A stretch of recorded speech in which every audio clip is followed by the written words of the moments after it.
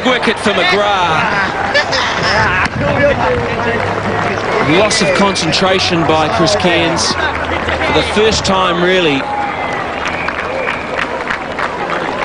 Tried to clear the ropes, perhaps not uh, backing and having faith in Tuffey and O'Connor.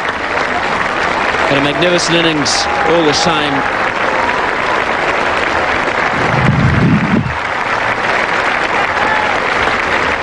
Well, that ends a quite sensational innings from Chris Cairns. Seen it a few times this summer. He's on his way. Lovely bit of bowling from Glenn McGrath.